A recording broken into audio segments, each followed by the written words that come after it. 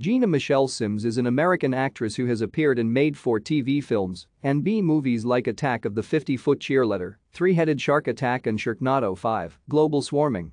She was Miss Georgia Teen USA in 2007. She is engaged to professional golfer Brooks Koepka.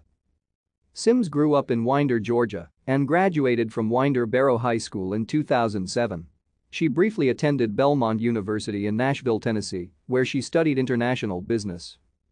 In 2004, Sims was crowned Miss Georgia Junior National Teenager and later won the Miss Junior National Teenager title 2005.